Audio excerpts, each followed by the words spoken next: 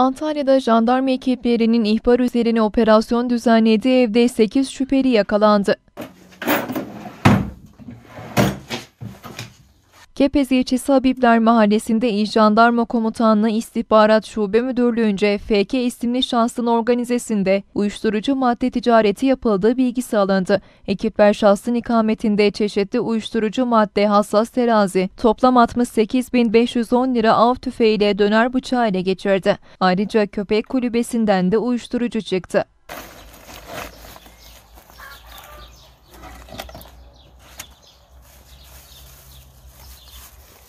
Köpek kulübesi içerisine gizlenmiş uyuşturucu madde. Evde bulunan 4 kişiyle birlikte toplam 8 şüpheli olay yerinde yakalandı. Şüphelilerden 4'ü gözaltına alınırken diğerleri hakkında uyuşturucu madde kullanmak ve bulundurmak suçundan işlem yapıldı.